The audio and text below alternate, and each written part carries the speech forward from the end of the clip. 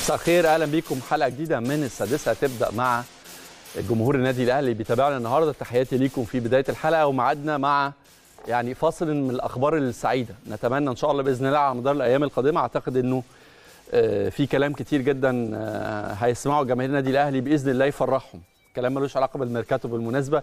الميركاتو هيبقى له وقته. آه، إحنا تعودنا دايما إن إحنا وأنا عارف إنه في كلام كتير ابتدى يتكلم على صفقات النادي الأهلي لكن إن شاء الله بإذن الله إحنا اتفقنا إن ودي وده رأيي الشخصي إنه الميركاتو اللي جاي آه، مبني عليه أمل وطموحات الأهلاوية في موسم استثنائي. هتلعب فيه كأس عالم هتلعب فيه انتركونتيننتال هتلعب فيه دوري أبطال هتلعب فيه سوبر ليج هتلعب فيه سوبر افريقيا وبالتالي حجم البطولات وحجم المكاسب الفنية والمالية الم- ورا مشاركتك في بطولات زي دي تحتم بلا شك إنه يكون موسم انتقالات استثنائي إن شاء الله. ونراهن عليه بشكل كبير وإن شاء الله بإذن الله.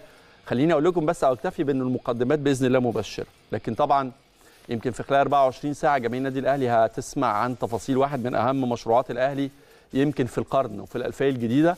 ومشروع كان حلم بالنسبة لجماهير النادي الأهلي كلها طبعا وهو تدشين استاد الأهلي الجديد اللي ناس كتير جدا كانت بتتكلم إنه مجرد فكرة أو من مجرد حلم بعيد المنال. أنا بقول لكم في خلال ساعات بسيطة جدا الخطوات التنفيذية الأولى بإذن الله إن شاء الله للحلم ده هتبدأ.